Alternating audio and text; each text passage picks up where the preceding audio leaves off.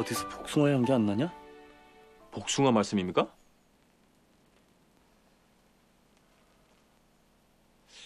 음, 복숭아가 없는데요?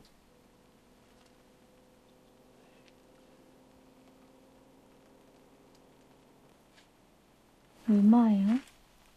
이건 얼야. 드디어 난 너를 찾았구나. 도화였다. 그동안 도화를 애타게 찾아왔다는 것인데 두 사람에겐 어떤 인연이 있었던 것일까?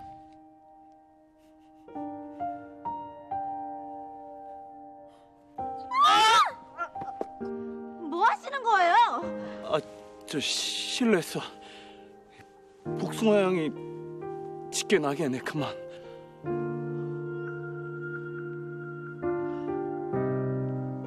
어머니 돌아가신 후에 그런 얘긴 처음 들어보는데 정말 향기가 나요?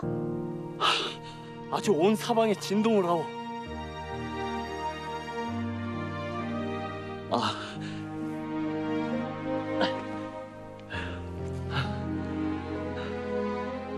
제가 태어났을 때 복숭아 향기가 났대요.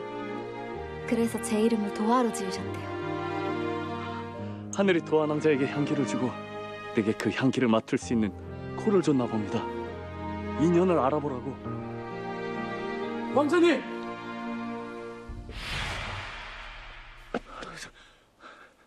분위기 파악하면서 가, 가. 아니, 그 동면태자님이, 아 형님이 뭐, 빨리 가, 빨리, 빨리. 동면태자께서 돌아가셨습니다. 형님께서?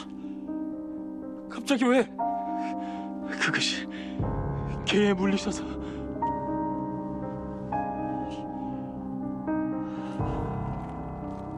내 어떻게든 낭자를 다시 찾을 것이오.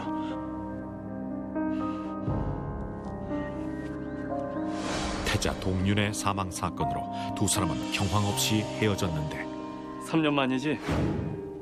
만나게 될 사람은 만나게 되는구나. 형님 상을 치르고 그 고을에 다시 널 찾으러 가봤지만 네 소식을 아는 이가 없었다. 그새 무슨 일이 있었던 게냐?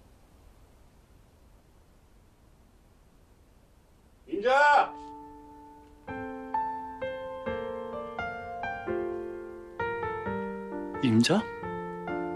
이만 가보겠습니다.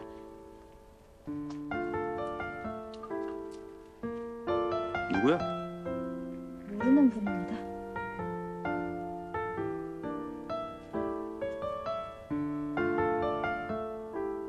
모르는 분입니다. 아이고 일을 어째? 벌써 혼인을 하였나 봅니다.